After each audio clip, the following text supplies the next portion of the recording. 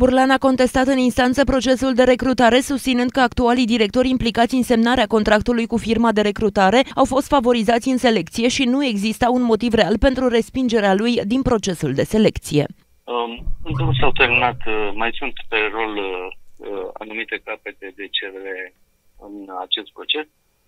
Uh, există un dosar la judecare la Curtea de Apel uh, Craiova, vedem ce se întâmplă cu uh, acest dosar la Curtea de Apel Craiova. Este vorba de anularea uh, deciziei de uh, neadmiterea a candidaturii mele în procesul de selecție.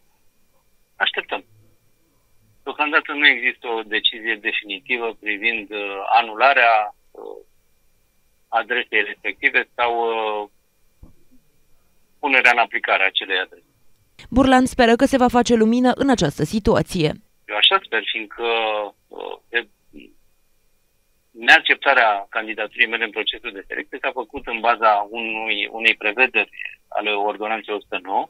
E vorba de acel articol 36 aliniatul 7 prin care Uh, pentru neîndeplinirea indicatorilor financiari, directorii revocați nu mai pot ocupa funcție de director timp de 5 ani de zile la uh, întreprinderile publice. Nu este vorba despre o revocare în aceste condiții uh, în anul 2023, când am fost uh, revocat. Uh, practic, uh, uh, acest motiv uh, invocat de către acea firmă Art Consulting nu este uh, real. Eu sper că până la urmă instanța să se pronunțe uh, asupra acestui aspect.